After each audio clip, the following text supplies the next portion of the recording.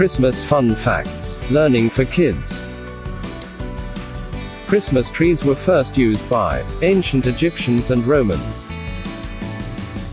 Christmas trees were first decorated with foods such as apples, nuts, and dates. It is estimated that every 9 out of 10 Americans celebrate Christmas.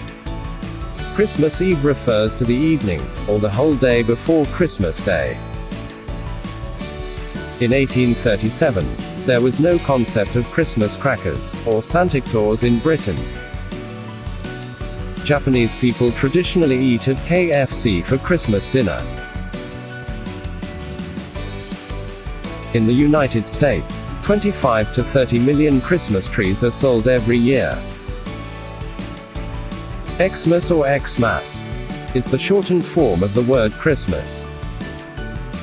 Not a single and confirmed logic exists to explain why people celebrate Christmas on December 25th.